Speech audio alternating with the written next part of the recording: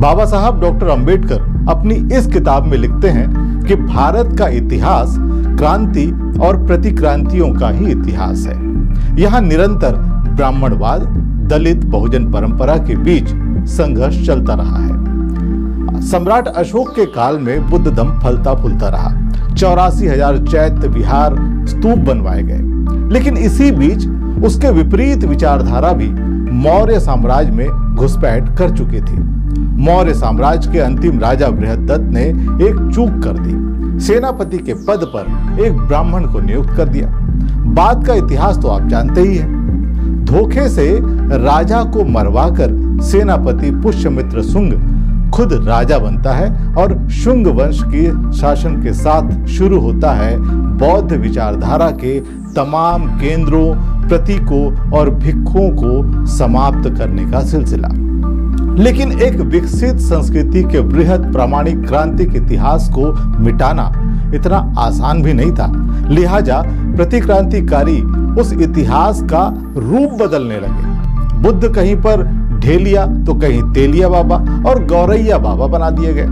धातु से बनी आँखें चिपकाकर कहीं देवी तो कहीं देवता बना दिए गए।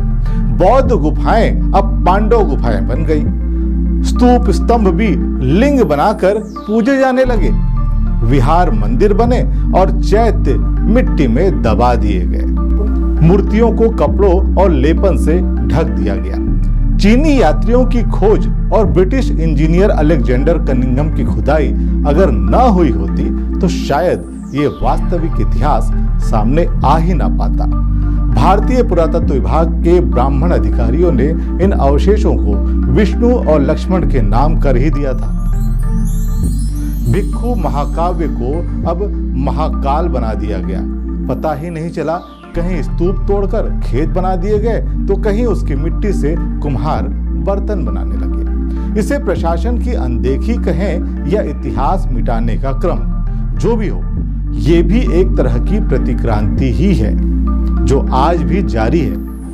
आज भी देश भर में हर जगह खुदाई के दौरान बौद्ध अवशेष ही मिल रहे हैं, जिन्हें या तो नष्ट कर दिया जा रहा है, या फिर उन्हें हिंदू मान्यताओं से जोड़कर प्रस्तुत किया जा रहा है। उज्जैन के महाकाल मंदिर में रखे इन अवशेषों को गौर से देखिए। इसमें बिल्कुल बोध गया के महाबोधि महाविहार की आकृति नज़र आती है। दरअसल उज्जैनी के राजा चंड प्रद्योत के महामंत्री कात्यायन ने तथागत बुद्ध के पास जाकर भिक्षु संघ में शामिल होने की अनुमति मांगी थी। तथागत बुद्ध ने कहा कि पहले आप अपने राजा की ज़िम्मेदारी से मुक्त होकर आए। राजा से अनुमति लेकर कात्यायन ने तथागत बुद्ध से दीक्षा ली और महाकात्यायन भिक्षु बनकर संघ में समय बिताया। कुछ वर्षों बाद भंते महाकात्यायन अन्य भिक्षुओं के साथ धम्म यात्रा करते उज्जैनी लौटे भारत में विशालता, वरिष्ठता और महानता दर्शाने के लिए नाम के साथ महाप्रत्यय जोड़ा जाता रहा है। जैसे विहार और महाविहार, स्तूप और महास्तूप, थेरो और महाथेरो। कात्यायन भिक्षु ही महाकात्यायन बने। कालांतर में जिनका नाम कहीं पर महाकाल हो गया तो कहीं पर काल भैरव चीनी यात्री हैंसांग ने यहाँ देखा कि यहाँ स्तूपों के छोटे छोटे आकार बनाकर पूजा करने की परंपरा रही है। ब्राह्मणों ने धम्म स्थलों पर कब्जा किया और धम्म की हर चीज़ को नया नाम देकर मूल पहचान मिटा दी। छोटे स्तूपों को शिवलिंग और स्तूप पूजा को लिंग पूजा के नाम से प्रचारित कर दिया। और जहाँ नाम न बदल सके, उसको बदनाम कर दिया। एक ऐसा ही नाम है वैश्या टेकड़ी। उज्जैन के नज़दीक कई स्तूप हैं, जो आज भी मिट्टी से ढके हैं और टीले या टेकड़ी नुमा नज़र आते हैं।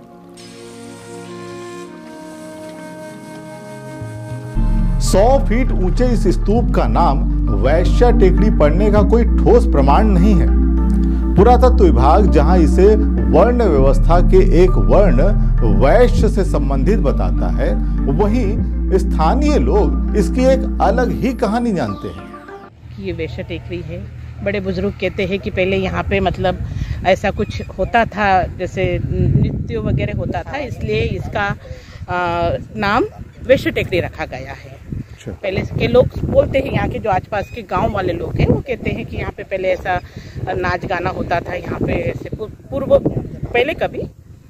उसके बाद में यहाँ, इसका नाम इसीलिए वैश्य टेकरी रखा गया। सम्राट बनने से पहले अशोक उज्जैनी के राज्यपाल बनाए गए थे। विदिशा के श्रेष्ठी यानी कि व्यवसायी की पुत्री थी देवी, जो कि सम्राट अशोक की रानी बनी। उन्हें विदिशा या देवी नाम से जाना जाता था। लिहाजा इस टेकड़ी के नाम से जुड़ी दूसरी किंवदंती भी खारिज हो जाती है। उज्जैन में तथागत बुद्ध के आसन के ऊपर 100 फीट का ऊँचा स्तूप बनाया था महाराजा अशोक ने। वो स्तूप आज भी पड़ा हुआ है, उपेक्षित स्वरूप में टूटा फूटा हुआ है, खराब है। उस स्तूप के पास संगमित्रा और महेंद्र के स्तूप थे, जो उसके अवशेष हमने देखे हैं लगभग पंद्रह साल पहले। वो अभी वहाँ ज़मीन दोस्त हो चुके हैं। किसानों ने, खेती करने वाले लोगों ने वहाँ से उसको ज़मीन में समतल कर दिया है। लेकिन जो आसंदी स्तूप है, वो 100 फीट ऊँचा वो टीले के जैसे बहुत विशाल है। उस स्तूप को लोग वेश्य टेकड़ी कहते हैं, वेश्या टेकड़ी कहते हैं। यहाँ तक कि कुछ खराब मानसिकता के लोग उसको छिनाल टेकड़ी भी कहते हैं। तो यह जो नाम गंदे संदे किए गए और सही इतिहास को छुपाया गया। लोगों की मानसिकता बदली गई। यह एक बहुत ही बड़ा षड्यंत्र रहा है बौद्ध विरोधियों के द्वारा। उज्जैन में जो महाकाल का मंदिर है, वो महाकाल न होकर के महाकात्यायन का विहार है। तो क्रांति को प्रतिक्रांति में बदला गया। उस संबंध में अभी खोज और रिसर्च जारी है। ये प्रतिक्रांति आज भी जारी है। इस स्तूप के आसपास मौजूद कुछ स्तूपों को तोड़कर लगभग समतल कर दिया गया है। एक स्तूप अभी मूल रूप से डिस्ट्रॉय कर दिया गया है यहाँ के स्थानीय लोगों द्वारा। एक स्तूप छोटा है। अभी ये कह पाना मुश्किल है कि वो संघमित्रा का है या महेंद्र का है। दोनों संघमित्रा और महेंद्र के स्तूप थे जिनमें उनकी अस्थियाँ बताते हैं। कि रखी हुई हैं और उन पे ये स्तूप बना हुआ है। और उसको डिस्ट्रॉय कर दिया गया और बाकी कुछ स्तूप यहाँ छोटे छोटे और भी हैं, आप देखेंगे यहाँ से नज़र घुमा के तो इधर छोटे छोटे स्तूप आपको दिखाई देंगे, जिनको यहाँ के लोगों ने डिस्ट्रॉय कर दिया है। 100 फीट ऊँचे और लगभग 350 व्यास वाले इस स्तूप के लगभग एक किलोमीटर के दायरे में एक और स्तूप था। जिसकी मिट्टी से आसपास के कुम्हारों ने बर्तन बनाकर बेच दिए। इस टीले नुमा स्तूप को स्थानीय लोग कुम्हार टेकरी कहने लगे। जो विक्रम यूनिवर्सिटी में डॉक्टर राम कुमार अहिरवार जी ने अपनी एक पुस्तक में लिखा है कि हमारे शहर से लगी हुई कई जगह पर, आसपास के ग्रामीण क्षेत्रों में, वो गौतम बुद्ध के कई स्थलों के और उनकी अवशेषों को आप प्राप्त कर सकते हैं और जान सकते हैं, और खुदाई में मिलते भी हैं। आप इस विषय में यदि देखें तो हमारी जो इतिहास की पुस्तकें हैं, जो इतिहासकारों ने लिखी, यहाँ पे प्राचीन जो पुरातत्व के अधिक, जो अधिकृत, थे प्रोफेसर, उनने अधिकतरों ने ये जो बौद्ध से संबंधित किताबें लिखी, उसमें आपको हर ग्रामीण क्षेत्र में इनके अवशेष और इनकी जगह जगह पर एक स्थल मिलेंगे आपको। उज्जैन तराना रोड पर कानीपुरा में स्थित वैश्य टेकड़ी बौद्ध महास्तूप का उत्खनन। 1938-39 में तात्कालीन ग्वालियर स्टेट के पुरातत्व विभाग अधीक्षक एम बी गर्दे ने शुरू करवाया था। लेकिन किसी अंधविश्वास और डर के चलते इसे बीच में ही छोड़ दिया गया। दरअसल टीले की चोटी पर मिट्टी हटाते समय अचानक दो फीट व्यास का एक गड्ढा बन गया। वहाँ से गर्म भाप निकलने लगी। खुदाई करने वाला बेहोश हो गया। 10-15 मिनट तक भाप निकलती रही। उन्हें लगा जैसे अंदर कोई तहखाना होगा। इससे पहले कुम्हार टेकरी से भारी संख्या में मानव कंकाल मिले थे। ब्राह्मण अधिकारियों को यह डर भी सता रहा था कि कहीं बौद्ध भिक्षुओं की हत्या किए जाने का वास्तविक इतिहास बाहर ना आ जाए। सोलहवीं शताब्दी के तिब्बती बौद्ध इतिहास तारानाथ लिखते हैं कि पुष्यमित्र और उसके सहयोगियों ने बड़ी संख्या में बौद्ध भिक्षुओं की हत्या की और मध्य प्रदेश जिसे मध्य भूमि कहा जाता था, वहाँ से जालंधर तक मठों को नष्ट कर दिया।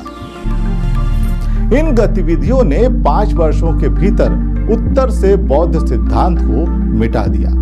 जानकारों का कहना है कि प्रतिक्रांति के दौर में, जब भारत में पुष्यमित्र सुंग जो है, उसने साकेत नगरी पर कब्जा किया साकत नगरी को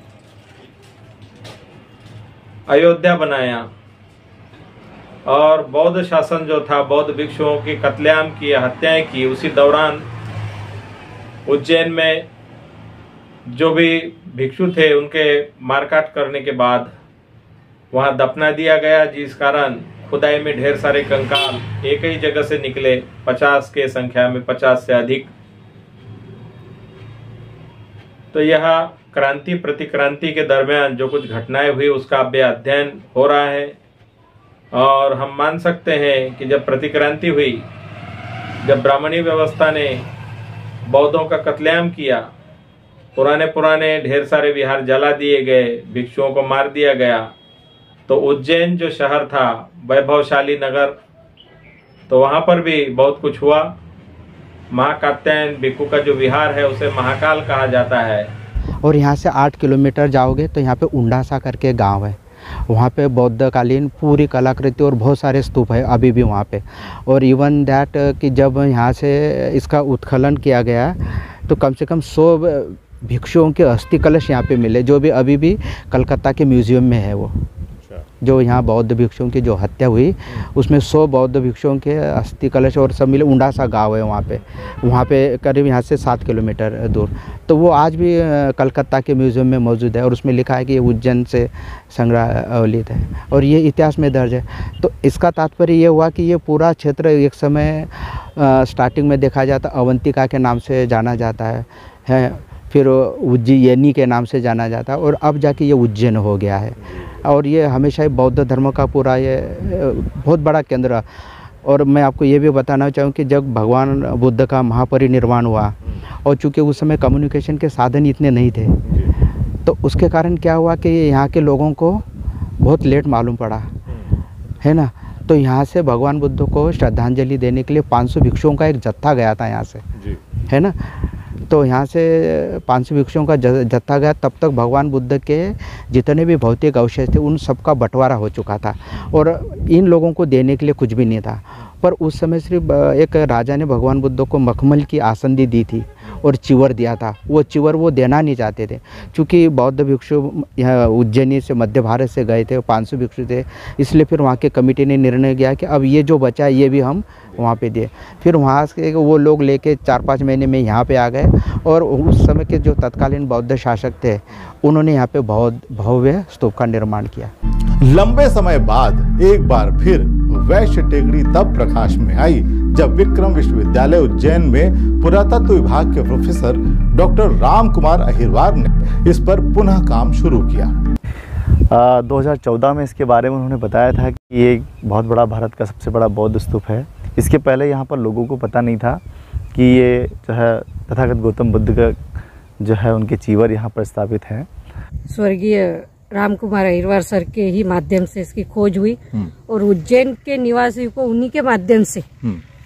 इस टेकरी के बारे में जो भी इसका इतिहास है हम्म।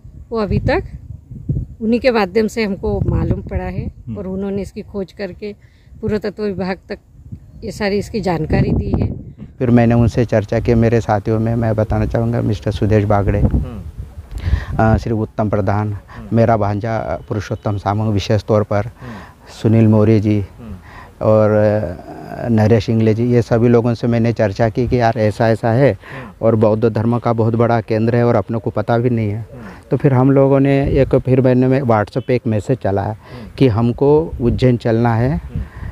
उज्जैन चले, एक अक्टूबर की हमने 25 तारीख डिसाइड की कि हम अपना टिफ़िन लेके सब उज्जैन से उज्जैन के लिए प्रस्थान करेंगे। तो उस समय करीब करीबन 200 लोग हमारे साथ आए। जब इस पहली बार हम यहाँ पर आए तो यहाँ पर बहुत ही दयनीय स्थिति, आसपास झाड़ियाँ, जंगल, पूरा जंगल में तब्दील था ये। यहाँ पे हम खड़े नहीं रह सकते। और जो सड़क दिख रही बस उस सड़क से यहाँ तक आने में हमको पसीना, नानी याद आ जाती यहाँ पूरा इतना घना जंगल था ये कि पूछो मत।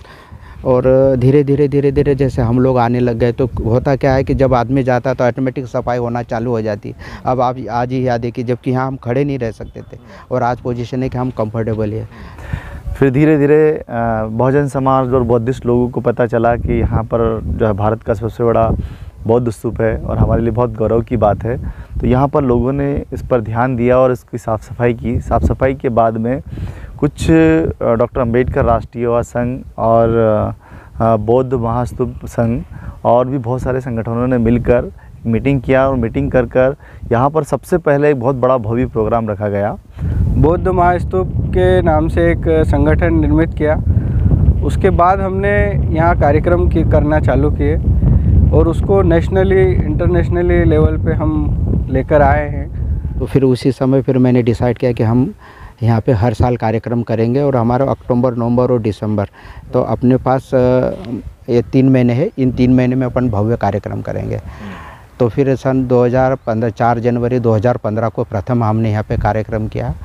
और उसमें इतना प्रतिसाद मिला कि लगभग भारत के सभी कोनों से करीब पचास हज़ार लोग यहाँ पे उपस्थित हुए। जिसमें जो है श्रीलंका के भंते बेनेगला जी को बुलाया गया, जिसमें पूरे देश और विदेश से यहाँ पर लोग लाखों की संख्या में उपस्थित हुए यहाँ पर। और जिस दिन कार्यक्रम था, उसके एक दिन पहले हमने तीन चार डंपर रेती के बालू रेत के बोल्डर के वगैरह के हमने ये बना मंगाए। हम पाँच छः बजे ऐसा हम यहाँ काम कर रहे थे। उतने में वो खेत वाले तीन चार लोग आए और खूब हम लोगों को मारने वारने लगे कि आप कैसे डंपर डाल रही है रात हम नहीं डालने देंगे वजह। तो हम लोगों ने उनसे हाथ पैर जोड़ा कि चलो हम ठीक है, हमने रखना चाहते फिर हमने वो डंपर वालों को बोला कि ठीक है भैया, तुम चले जाना। उनको हमने समझा बुझा के उनको वहीं खड़ा किया और हम लोग करीब आधा किलोमीटर जाके गाड़ियों में हमने उनको बताया कि हम लोग अब घर जा रहे हैं। और उधर जाके हमने गाड़ियाँ खड़ा, गाड़ी खड़ी कर दी, गाड़ी के लाइट वगैरह बुझा दिए ताकि अंधेरे में उनको दिखे नहीं। फिर वो लोग आधा, एक घंटे तक खड़े रहे। जैसे ही वो लोग गए, उसके बाद फिर हम वापस हम यहाँ गए। फिर वो डाला और वो रास्ता हमने वो तो ऐसे कठिन परिस्थिति में ऐसे बहुत सारे उदाहरण हैं। ये पूरा गड्ढे बने हुए थे आने की जगह नहीं थी ये लोग भी आने नहीं देते थे पहला प्रोग्राम करा था हमने तो ये पूरा ये जो दिख रहा है ये साइड का यह पूरा पानी भरा हुआ रहता था। ये पूरी जगह में ये बड़े बड़े झाड़ थे। हम लोगों ने दिन रात मेहनत करके इंदौर से आके यहाँ रह के उसको पूरा लेवल करके फिर कार्यक्रम बनाते थे। पानी में पैर धसते थे वहाँ पे उसमें नीचे। पहले कार्यक्रम में तो बहुत सारी कठिनाई आ गई कि भैया ये पूरा झाड़ ये पानी ये लोग फिर पानी छोड़ देते थे। ये जो सामने दिख रहा है ये पानी वहाँ जाता था सामने। फिर वहाँ पे हमने बड़ा जेसीपी लगा के कुछ ये मटेरियल डाल के मुरुम और वो डाल के उसको लेवल करके फिर शाम को हमारा प्रोग्राम हो। स्थानीय कार्यकर्ताओं ने बताया कि इस स्तूप को खोजकर जब वे यहाँ सफ़ाई करना चाहते थे तब उन्हें काफ़ी विरोध का सामना करना पड़ा। कहते हैं ना कि कोई भी काम आसान नहीं होता है। हर अच्छे काम में कठिनाइयाँ बहुत आती है, बहुत तकलीफ़ होती है और इसी काम को करने में भी बहुत तकलीफ़ आई है। बहुत सारे असामाजिक तत्वों ने भी हम लोगों को काफ़ी तकलीफ़ दी। जब हम लोग टेंट में सो रहे थे तो पीछे से पत्थर फेंके, ये करे, रात को दो तीन बजे फिर हम लोग इधर उधर भागे और बड़े मुश्किल से। तो ऐसा बहुत समय कठिनाई का सामना करना पड़ता। और ये नेचुरल है कि उन लोगों को भी थोड़ा सा अलग लगा कि ये लोग हमारा हक मारना चाहते या हमारी ज़मीन पे होना उन लोगों को ऐसी भावना थी। फिर हम लोग दूसरे प्रोग्राम में उनके घर गए पर्टिकुलर जो ज़मीन वाला है उनको हमने समझाया कि देखो अल्टीमेटली ये ज़मीन आपको देना ही पड़ेगी भले आप बोल रहे कि हमारे बाप दादाओं ने करी पर ये पुरातत्व विभाग है और हमने उन्नीस सौ छप्पन का उनको पुरातत्व विभाग का हवाला भी दिया। तो वो लोग फिर धीरे धीरे उस चीज़ को ये समझने लगे कि खाली तो ये करना ही पड़ेगी। एक्चुअल में जब प्रोफेसर राम कुमार अहिरवार साहब ने काफ़ी संघर्ष किया फ़ाइल वाइल और आगे बढ़ाई और काफ़ी संघर्ष के दौरान, जब इसकी राशि उन्होंने आर्कोलॉजी डिपार्टमेंट को भी बताया और जब इसकी राशि समथिंग चौदह करोड़ राशि उन्होंने सरकार ने सेंक्शन किया था कि उस समय जो है ज़मीन की वैल्यू उतनी नहीं थी तो उसकी आसपास की जो ज़मीन है जो यहाँ की जो फार्मर है, उनसे लेकर समथिंग उसकी वैल्यू चौदह करोड़ आकी गई थी। तो सरकार से उन्होंने अपील भी किया, निवेदन भी किया कि ये राशि जो है फार्मर को दिया जाए और फार्मर को देने के बाद ये जो है ज़मीन छोड़ दिया है ताकि आर्कोलॉजिकल डिपार्टमेंट इसका विकास कर सके।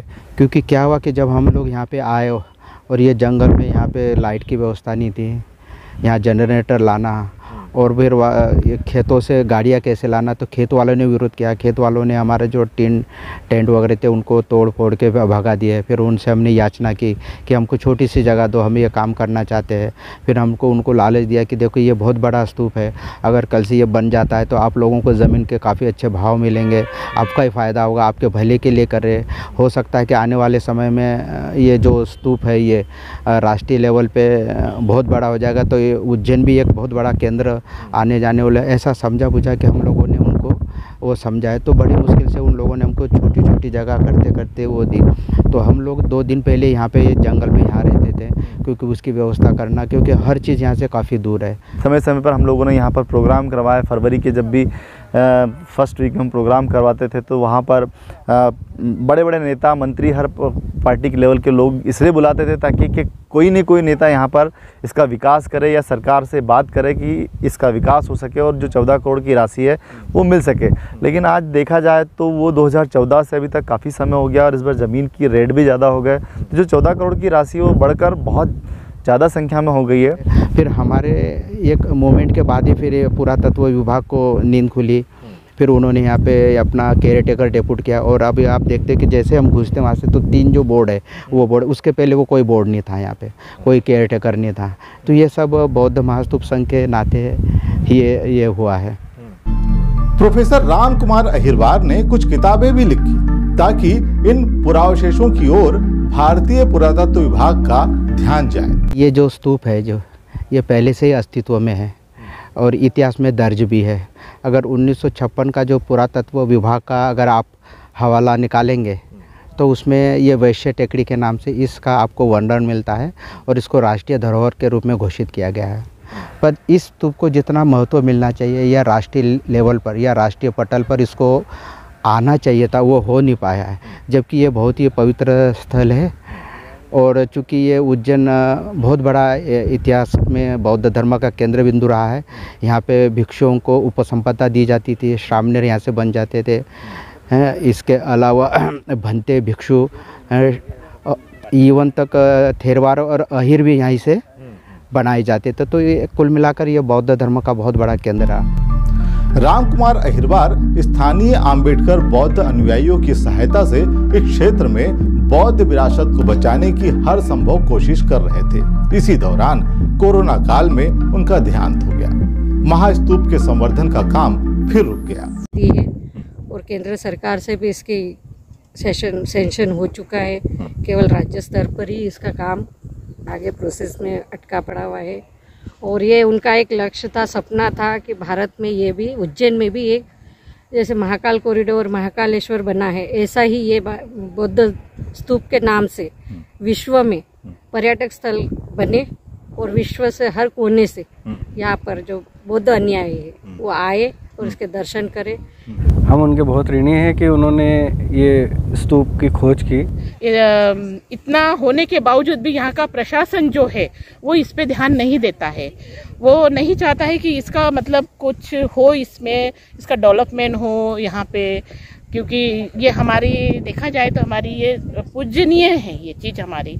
हम तथागत को मानने वाले लोग हैं जो कहते हैं कि इसके नीचे हमारे तथागत के आसंदी और चीवर है। तो हम लोग चाहते हैं कि प्रशासन इस पे अधिक से अधिक ध्यान दे ताकि जैसा महाकाल लोग बना है, महाकाल बना है, उसी तरह हमारा भी एक ये क्या बोलते कि एक दर्शन वाला चीज़ हो जाता है। जैसे चारों धाम है, वैसा ही हमारा। जैसा क्या बोलते कि अपने नालंदा में है, वैशाली में है, वैसे ही ये भी एक स्तूप है। पर इसमें कोई ध्यान नहीं देता है। हम बहुत सालों से प्रयास कर रहे हैं। हम यही चाहते हैं कि सरकार जल्द से जल्द इस पर ध्यान दे। हम सतत प्रयास कर रहे हैं। हर साल हमारा उद्देश्य यही है कि इसका उत्कलन हो। इसके बारे में जो इतिहास है, जो हमारे डॉक्टर अहिरवार सर बोल के गए हैं, जो उनका लक्ष्य था, सपना था, उसको साकार करने के लिए हम छोटा सा हमारा कार्य कर रहे हैं और उस शिखर तक पहुँचने के लिए उनके ही मार्गदर्शन में हम चाहते हैं कि इसको विश्व में बुद्ध स्तूप के नाम से उज्जैन को भी जाना जाए। हम सीएम से अपील करते हैं कि हमारे इस धरोहर पे ध्यान दे और इसका उद्धार करें। हम बहुत समय से परेशान हो रहे हैं हम लोग भूख हड़ताल भी करते हैं सब कुछ करते हैं लेकिन कोई ध्यान नहीं देता है। हमारे सर इसी उन्होंने बहुत काम किया है डॉक्टर अहिरवार राम कुमार अहिरवार ने बहुत काम किया। उन्होंने ये ज़मीन वालों के लिए पैसा भी मुआवजा भी उन्होंने लागू करवाने की कोशिश करी लेकिन बहुत दुखद है कि वो हमारे बीच नहीं है सर। क्या? और वो उनकी बहुत सारी अच्छाइयाँ हैं जो हम नहीं भुला पाते। तमाम प्रयासों प्रतिक्रांतियों तमाम विरोधों और पुरातन की उपेक्षा के बीच ये महास्तूप आज भी संवर्धन की बाट जो रहा है।